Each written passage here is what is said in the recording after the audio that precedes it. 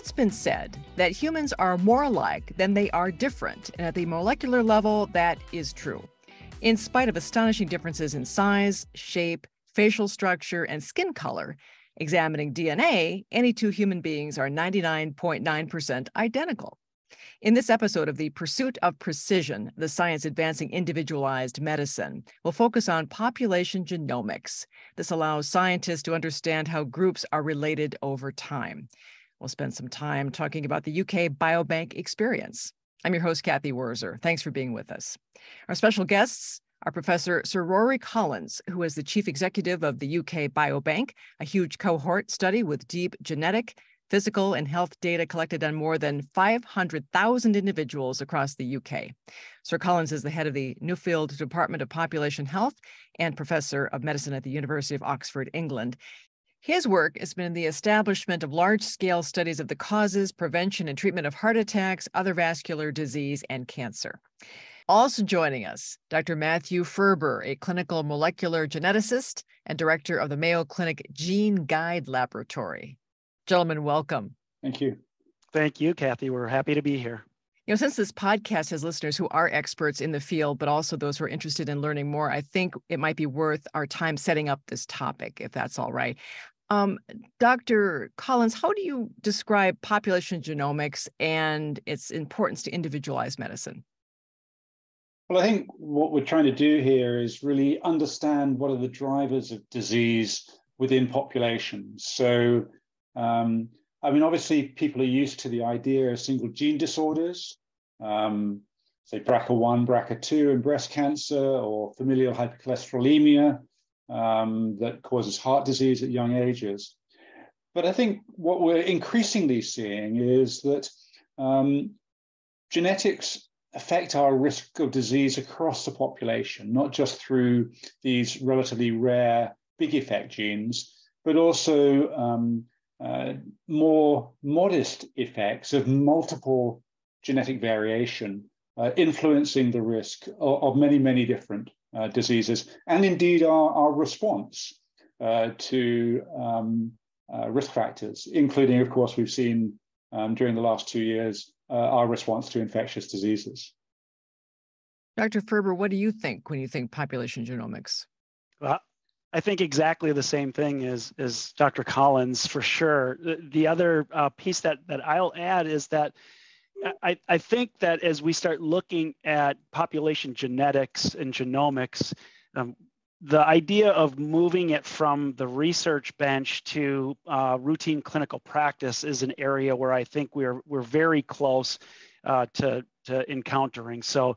Uh, many studies, um, like the the All of Us study or the UK Biobank, are largely research focused studies and um, and that's a really great place to get started and they're looking at massive amounts of information both common disease and some of the rare rarer diseases uh, be it single gene or multi-gene as dr collins just uh, explained. But there's also a lot of activity beginning to percolate around doing large scale studies for just a handful of genes that we know have a really really large effect within the population. And, and those are those are kind of two separate areas, one more research focused and the other more translatable immediately to the clinical bedside.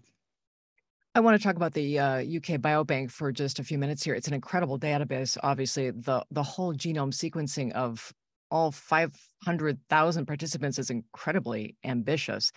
Um, Dr. Collins, what have been the greatest achievements of the biobank thus far? The altruism of half a million people. Mm-hmm. Um, and, and I would say the vision of um, the Medical Research Council and the UK Biobank. So the Med- Medical Research Council is essentially our NIH and the Wellcome Trust charity back in 2000, believing that there would be value in setting up something that would take 20 years uh, before it matures. Um, a more a straighter answer to your question, though, um, I would say is the, the observation um, based on UK Biobank, when, as Matthew says, you get very large numbers of people uh, with genetic information on them. Um, the observation that um, the combination of genetic variants across the genome, each of which has small effects in their own right on disease, but combining them um, can identify quite substantial proportions of the population who are at high risk. So you may be three to five percent of the population if you combine multiple variants um, who are at risk equivalent to a single gene disorder. So equivalent to the risk of um, familial hypercholesterolemia and therefore coronary artery disease, or breast cancer equivalent risk to BRCA1 or BRCA2, but perhaps 10 times more common um, in those high risk groups. And I think that that opens up the opportunity um, for what I kind of think of as precision population health. So, you know, when we consider screening strategies, they're largely driven by age. Um, uh, women get to a certain age and then they get offered um, breast cancer screening, or people get to a certain age and they get, in, in Britain, um, fecal occult bloods to see whether they uh, have any, any evidence of blood in their stool and a risk of colorectal cancer. The idea that you could identify with a genotype test, so measuring maybe a million markers across the 3 billion markers um, in your genome, uh, and doing that for about $10, and being able to identify 5% of the population that are risk of breast cancer, equivalent to BRCA1 and BRCA2, and the 5% who are at risk of heart disease, equivalent to familial hypercholesterolemia, and so on and so forth. Peter Donnelly in uh, the UK has shown that about a quarter of the population can be identified here in the top three to five percent um, for about 16 different conditions. So you can see how cost effective that could be uh, in terms of delivering precision screening strategies, much better approaches to who we give preventive treatments to, such as um, cholesterol lowering therapy. Uh, so I, I, see huge opportunities there. Now, it's something that needs to be evaluated, but I would say that that's a, a major observation that's come out of Biobank um, and is now being looked at as a way in which to deliver healthcare more effectively um, uh, to, to populations. You're also, are you not, in a sense, democratizing access to research? How important is that? Yeah, I think um, uh, what's been really interesting with UK Biobank um, is that the funders asked us from the beginning to make this resource available to everybody around the world on the same basis. Um, there is no exclusive access. I'm the principal investigator only in the sense that I've probably done less work on it than most people in terms of research. My job is to help build it. Um, we've actually had a lot of altruism from the academic community in helping us to design it, helping us to guide us as to what should be done. And then the job of UK Biobank is to deliver that. So um, uh, early on, it was around what questions to ask, what measurements to make, how to collect the samples in ways that would allow assays to be done at a scale that really was unimaginable when we were collecting them. But then, you know, technology moves on at such a pace that we were genotyping the whole cohort well before anyone anticipated that you could do it in half a million people. And then um, we were contacted by Regeneron, actually, who said, well, can we really access the samples? And we said, yes. So they brought together a consortium that funded the exome sequencing. And then those data became available to all researchers around the world. And likewise, um, a consortium of companies working with the Medical Research Council and the Wellcome Trust uh, most recently funded uh, the whole genome sequencing on half a million people. And when you think it's only 20 years ago that one person was sequenced. We've now sequenced in a two-year period at the Sanger and deCODE half a million people, and those data are being made available. So um, when the genotyping data did become available, um, people started to believe that it was really true that you could access the data, and we saw a huge increase in the use of the resource from outside the UK. Um, and we've seen that increase uh, continue uh, into other countries around the world. So there are now some 30,000 researchers using UK Biobank data for all sorts of things that no one imagined um, at the beginning. So again, I think one of the beauties of the model is it kind of unleashes the imagination of all sorts of scientists who wouldn't otherwise have been able to access data on this scale and this depth and they do things that are really remarkable. Uh, Dr. Ferber, what can we learn from the way the UK has approached the biobank experience? Yeah, no, I, they're exemplary, and we should do, we we should really really work quite closely with Sir Rory and others to really uh, emulate the model that they've created. A couple of things that I want to bring up that were that Sir Rory just mentioned in his discussion there. Number one gets to biodiversity. Um, the UK Biobank is open to a wide, diverse population of individuals. One of the challenges we have with making new discoveries is really the imbalance of different ethnicities that are represented in the existing data sources that we have now. Now, sure, really cool things are coming out of the data sets that we have now, but it will be cooler and it will be better as we increase the diversity across uh, across these resources. So uh, that's one aspect that I think is, is highly valuable. As valuable as the diversity in the people who are participating, so is the diversity in the people you're going to allow access to the data. So making sure that we have um, data available to researchers from all different kind of areas of, of subspecialty is super important. You never know where the next great discovery is going to come from. You don't have to be a pointy head geneticist like lab geneticist like myself, you know, in order to make the next big discovery. It could be somebody who's very interested in muscle wasting or somebody very interested in uh, in cognitive function. We just we just don't know. And so making the data sets widely available to folks who are passionate about improving healthcare is, is, is very, very important. And then finally, I'll just wrap up and say that um, all of those things start to add up to uh, the, a benefit of improving healthcare through uh, a concept that I think we've been talking a little bit about, but we haven't called it out specifically, and that's polygenic risk scores.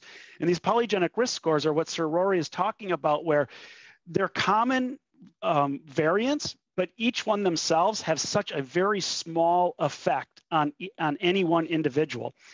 How those add up in a specific individual can lead to quite an impactful outcome. And that is what we kind of uh, referred to as a polygenic risk score. Now, those risk scores are limited in their utility based on the populations that we've studied thus far. So you know where I'm going, right? Coming full circle to the need to have better biodiversity within these data sets that we have, because the risk scores that exist, say, for example, for, uh, for breast cancer or for even diabetes, they work relatively well for Northern European Caucasians and, and, and those ethnicities. But when we start talking about um, you know, uh, Chinese or sub-Saharan Africans, they're not as powerful. And so we need the biodiversity um, that we've been talking about here to really be improved so that these scores really become helpful for all of humanity and not just pockets. Yeah, I think that's a very important point. And, and of course, the, the NIH funded All of Us cohort um, led by Josh Denny, uh, I think um, is recruiting well in terms of um, getting diversity within the US.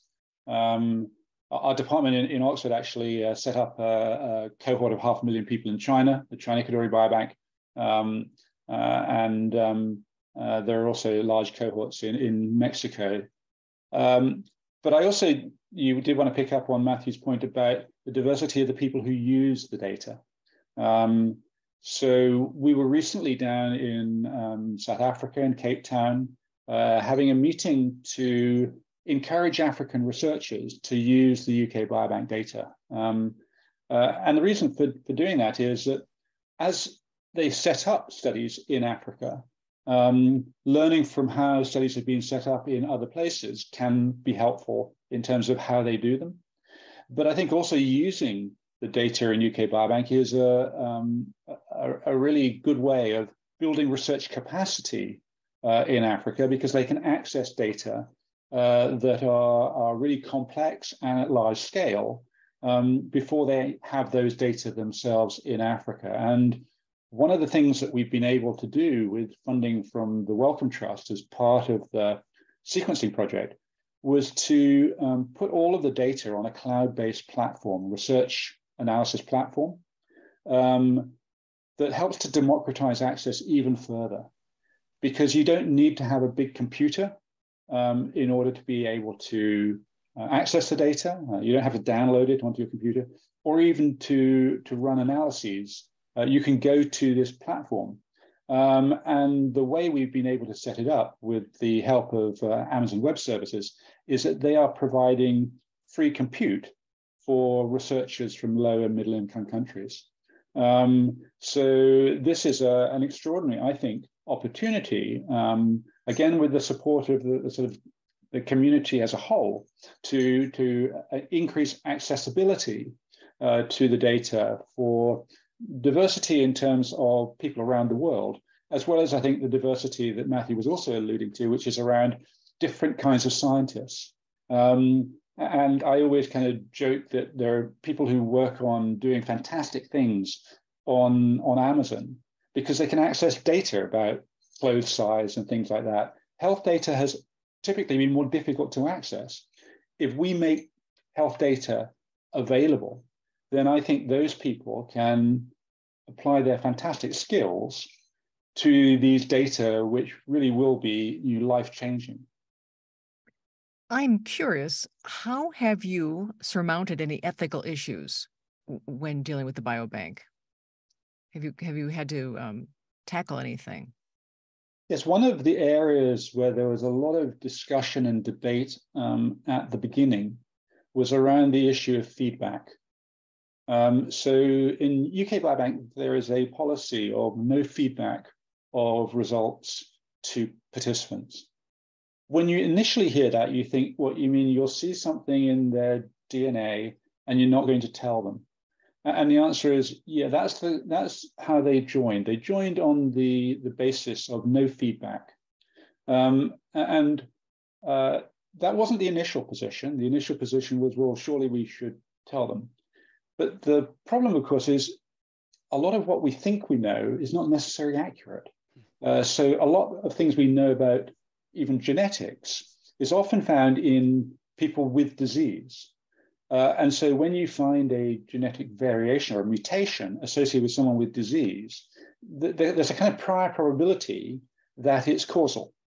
When you look in broader populations, um, that's not you the prior probability is is different, um, and it may be that you see a mutation in that gene, um, and may jump to the conclusion that it's causal, uh, and um, it may well not be. So um, the position we got to, um, the Wellcome Trust and the MRC got to, was the, the advantage of no feedback is you're guaranteed that you can't do any harm. Um, with feedback, there's a risk that you will feedback information that's actually wrong, um, uh, or that you can't do anything about and causes harm in, in other ways. So um, uh, we we spent a lot of time explaining that to participants um, and uh, getting their understanding of that and getting their consent to that as part of the, the, the project. I think that was probably the most complicated part. Um, and um, when we came to imaging 100,000 of the participants, uh, again, this question arose. You're going to image. Um, what happens if you see something you, on the image? Uh, and that was a question the funders asked. So we did a study a pilot study where we compared if the if the technician saw anything that concerned them on the image, it was fed back to the, the participant and their their primary care doctor, versus only things that were sort of seen in passing. So we had systematic. Uh, so, so anything that the the technician saw um, was then looked at by, uh, and all scans were, were, were screened by uh, radiologists, and we had 20% got feedback versus only if the technician happened to see something, there was feedback, which was about 2%. And when we did that, we found that the vast majority of the feedback was actually um, uh, led to investigations, some of them very invasive, uh, and the vast majority were false positives. Um, but people had normal ovaries removed, uh, lobes of lung removed, in order to find out that these things were false positives. So again, we you, after about a year of um, assessing this, got to the position that um, if something was noticed during the scan, there was then feedback about 2%, but not the systematic screening that you might do in a kind of clinical setting. Interesting. Uh, Dr. Ferber, do you have any questions around this or a comment about it? maybe not a question, but it, it that is where I think the two studies are a little bit different. And I just want to be very transparent here. I am by no means an expert in what is happening with the All of Us study, other than uh, you know our Mayo Clinic is the biorepository for the the million participants. I know that there is a um, there's an interpretive arm to the All of Us study where they will be looking at either what we call the CDC tier one genes or the ACMG 59 genes. It's one or the other. I, my apologies. Both of these lists of genes, though, are um, discussed and settled upon by uh, ac- uh, an academic group um, here in the States that are deemed to be both important and actionable. So we, we know that variants within these genes um, lead to a specific disease um, and those diseases we can do something about either through monitoring or preventative uh, measures like prophylactic surgery. Now, the one thing that uh, Dr. Collins mentioned that is very true that we have learned over and over through the years in diagnostic uh, genomics is that your a priori risk for equating pathogenicity to a variant in a in an individual who is uh, struggling with a specific disease is is quite high. So you can make those correlations easily.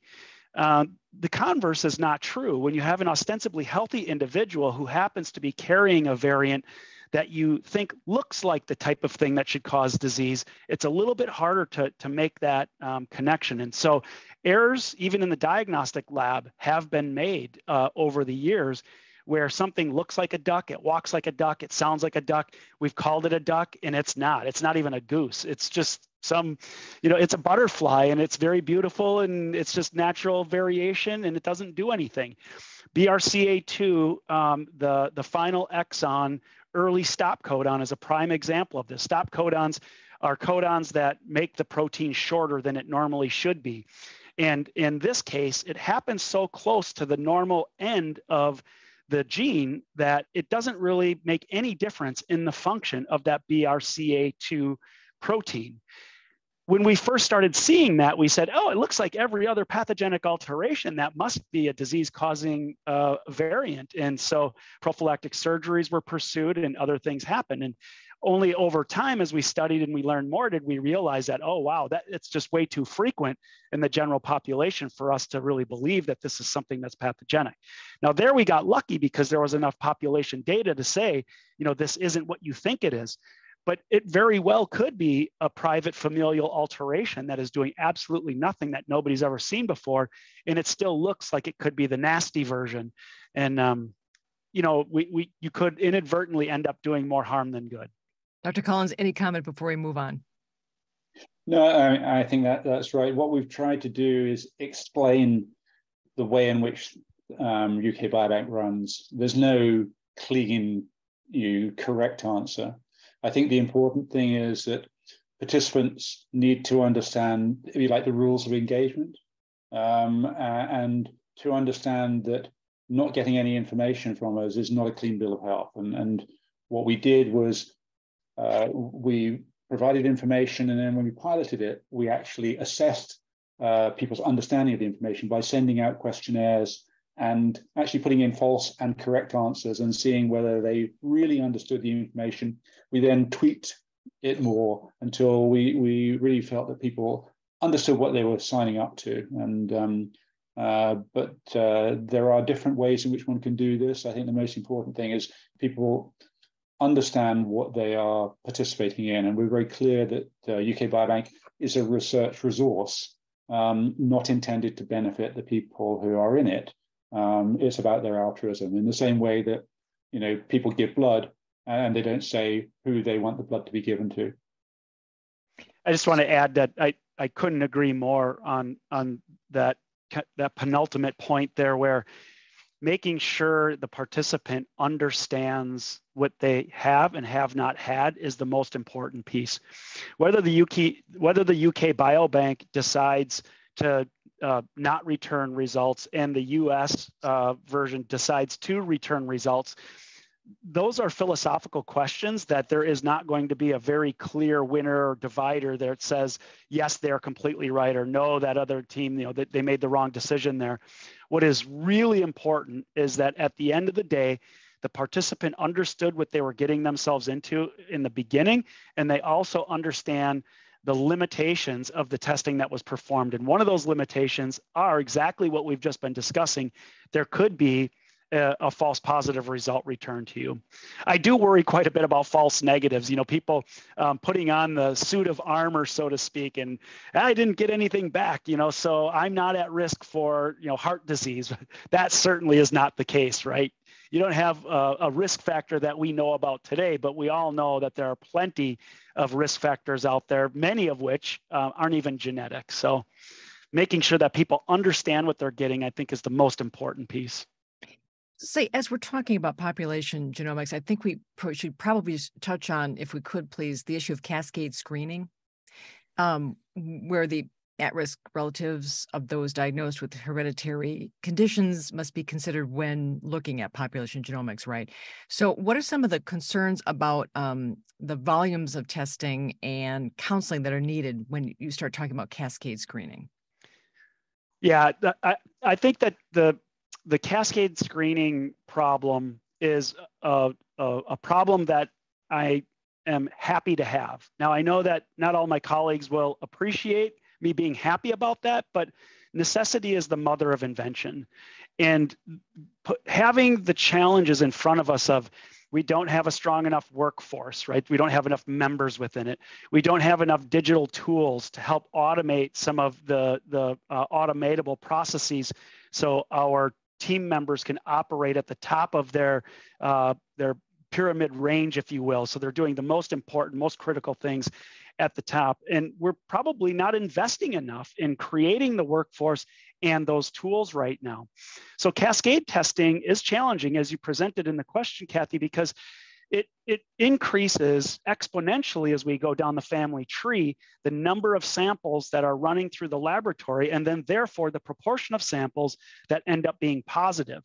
And positive results become more challenging to, to, to deal with in most cases because there has to be follow up, there has to be ed- more education, there has to be a discussion of next steps. And that generally, right now, requires a physical interaction or video interaction between a genetic counselor or a healthcare provider and the patient themselves.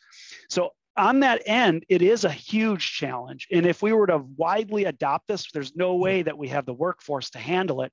But I am happy to have this challenge in front of us because I think it's going to force us to invent solutions, AI enabled, um, other tools based abled um, capabilities, and growing the workforce around genetics and genomics that will ultimately take us to a place um, of victory where we know that people are getting the benefit of genetics and genomics without kind of forestalling and holding back that benefit because today we don't see that we have the tools.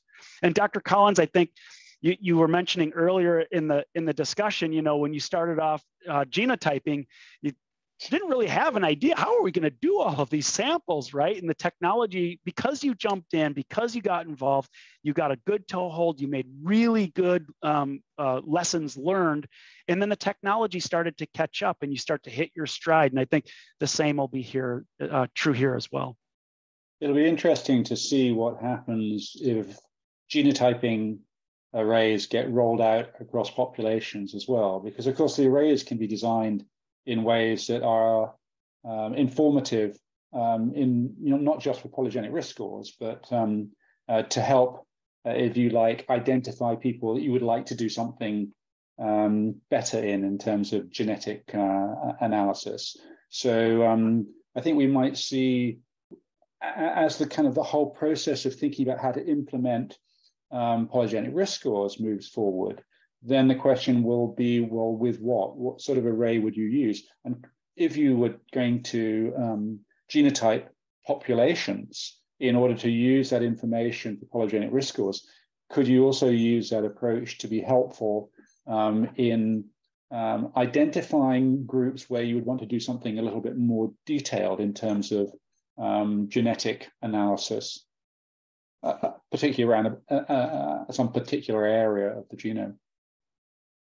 I have one final question before we go, and it would be this: Do you think, in order to move population genomics forward, there has to be um, a greater collaboration, if that's the word to use, between genomics, epigenetics, bioinformatics, you know, to to as we as we look to the future mm. here?